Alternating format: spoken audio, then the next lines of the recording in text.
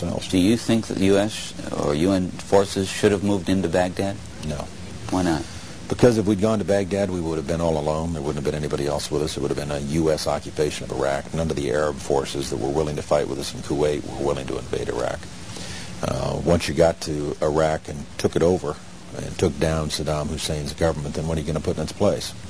That's a very volatile part of the world, and, and if you take down the central government in Iraq, you can easily end up seeing pieces of Iraq fly off. Uh, part of it uh, the Syrians would like to have to the west. Uh, part of eastern Iraq, uh, the Iranians would like to claim, fought over for eight years. In the north, you've got the Kurds, and if the Kurds spin loose and join with the Kurds in Turkey, then you threaten the territorial integrity of Turkey. It's a, it's a quagmire if you go that far and try to take over Iraq. The other thing was casualties. Uh, everyone was impressed with the fact that uh, we were able to do our job with as few casualties as we had. But for the 146 Americans killed in action and for their families, it wasn't a cheap war. And the question for the president in terms of whether or not we went on to Baghdad and took additional casualties in an effort to get Saddam Hussein was how many additional dead Americans is Saddam worth? And our judgment was uh, not very many, and I think we got it right.